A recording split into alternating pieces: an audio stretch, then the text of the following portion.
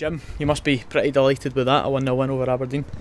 Yeah, uh, we couldn't ask any more, James. To be honest, um, you know we we worked hard during the week. We gave Aberdeen, you know, the respect that they deserve. They're a very, very good side. Um, been a top four team now for years, and obviously still involved in Europe. So we knew it was going to be a tough game. We knew how physical they were, um, and we knew that we were going to have to stand up and be counted. And I think all the players, each to a man, uh, done that. And um, you know, I'm really, really pleased for them because you know they were disappointed after last weekend not to have came back from Edinburgh with something.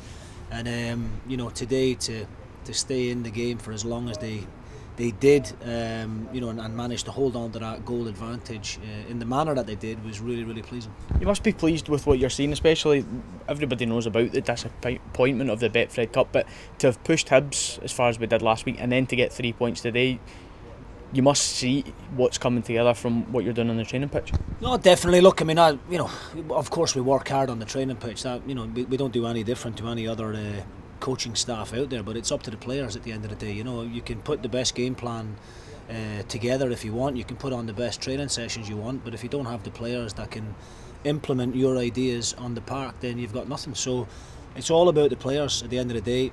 Um, their attitude and commitment last weekend was brilliant, and we accepted defeat last weekend because of that.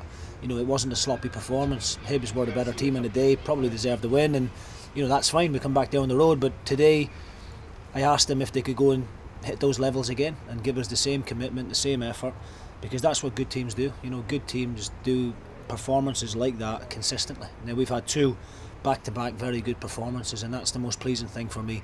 Um, in an ideal world, we would do better on the ball. You know, I think we, we will improve. There's no doubt about it. You know, the majority of the group have only been together for the last couple of weeks, so they're still taking time to get used to my ideas. But I want us to be better on the ball. Um, I want us to be braver on it, and you know, take more time on it and take more care of it. But um, you know, I can't be overcritical today. You know, Aberdeen, as I said, are a good side. They're in your face. They don't give you a great deal of time on the ball. So today wasn't pretty. It was more about um, you know, can we stand up and be counted? Uh, you know, are we a soft touch or are we going to you know, get in their faces and, and stick it out. And I thought the players, each to a man, done that. Just um, on a personal level, for you, it was your first home league match in charge as manager. How did that feel? It was great. I mean, I didn't know. Uh, you know, at the end of the game, you're like, it felt as if we'd we'd won the league. To be honest with you, um, you know, obviously can't allow ourselves to get carried away. It was it's three points in the second league game of the season against a very good opposition. But I think the the, the supporters today can appreciate the effort and the commitment of the, the players, and you know that's why they backed me all those years as a player. You know they they knew I cared about the club. They knew I was proud to represent the jersey, and and that's what I think they're seeing from our players just now. And you know the supporters are no different to me. They'll accept defeat in the right manner. Nobody will accept defeat if we get turned over easy. But you know that was a real dogged, you know, gritty performance where you know we had to dig in, and you know we weren't able to get our better players on the ball as much as I would like.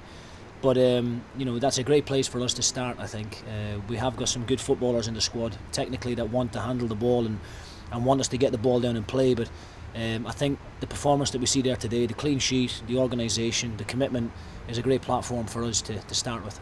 How pleased were you for Ilkay getting his goal as well? Because he came close a couple of times last week to get it today and took it really well. Really nice finish. He did. It was a great goal, and it was everything that we worked on during the week. You know. Um, we spoke about dropping off the game, allowing Aberdeen centre halves time in the ball, and when we won it back in the middle of the pitch, we had to counter attack at pace, and we done that. Kyle Magennis broke off into that area brilliantly, and uh, and then had the the intelligence and the awareness to to see Ilkay's run on the edge of the box, and you know the way to pass from Kyle was perfect. Ilkay could just walk onto it and, and, and pass it into the back of the net, but you know he's been a big player for us in the last couple of games. Ilkay. Um, the conditions probably didn't suit in terms of you know trying to get him on the ball but uh, he put in a shift for the team. You know, and there was great performances right right throughout. James, to be honest, I thought Vaclav in goal was excellent. He came for crosses at times when he he had to be brave and come out into a lot of bodies. Two centre halves were outstanding in what was a really physical game. The two boys in the middle of the pitch, Flinny and Sam, picked up every second ball and um, you know didn't allow the Aberdeen midfield any time on it. And there was so many. Uh, big performances out of possession. That was really pleasing for me. We will get better on the ball. We will create more chances and we will make better decisions in the final third uh, as time goes on because the players will have a better understanding of what we're asking but also of what each other's capable of. But right now, I think the organisation and the commitment is a huge positive for me to take. And a wee uh, mention for Callum Waters as well, who only came in on Friday and played the full game today. Listen, I think that's as good a debut as you're you're going to see. To be honest with you, you know, it was a, a position in the park that we knew we needed to sort out. We've been trying for the last month um, to get Callum. I tried for the last three years to get Callum back from Kilmarnock when I was at Alloa, um, and to no avail. But you know, this is the level he should be playing at. You know, and he's wasted sitting in the stand at Kilmarnock, and I'm delighted that they agreed to allow him to come to ourselves. Um, you know, the, boy Taylor at Killie took a lot of plaudits, and he's an excellent fullback, but you know that's the level that Callum needs to get to because I believe in him wholeheartedly, and I think that he has got a great future ahead of him in the game. He's had a disappointing last couple of years in terms of game time, but we're really pleased that he's here, and he's uh, he's a great boy. You know, that he'll, he'll settle into the dressing room, um, no problem at all as well. Over 4,600 St Mirren fans here today. I mean, it's a great I mean, you just have to look at the weather um, today and the, fact that it's a Sunday game as well. That's a great level of support. How encouraging is that for you and the players? Really encouraging, James. Yeah, and um, you know, four thousand six hundred is great, but we want more. You know, and we want you know everybody to bring people with them, and the, the more performances we put on like today. Uh, that will hopefully get more people through the turnstiles. You know, that's the bottom line. We, we know the fans are there. You know, they backed the, the club to the hilt. Tail end of last season, there was a full house here in the playoffs against United. So we know the supporters are there. It's up to me and the players to give them a product on the park that they believe is worth spending their hard-earned money on, and that's what we're going to do. You know, there's more fans out there. We want to get this place bouncing. I thought the supporters were outstanding, honestly, all day. They really were. Um, you know, the, the, guys in W7 were were terrific as well. Uh, I found myself tapping along to that Obika tune. I thought it was brilliant, man. you know, I turned around to the to the bench and I'm like, how good is that? So, listen, it's it's a positive place. You know, let let all the people outside of our club talk us down and let them be negative and uh, let them you know tell us that we don't stand a chance. I know we I know we have a chance. I believe in that group of players in there, and I think you know the fans are starting to get on side as well and believe that you know we are capable of good things. You know, let's not get carried away. It's only three points in the second league game of the season, but you know let's be positive. Let's be more optimistic and and let's continue to have that level of atmosphere uh, in here going forward.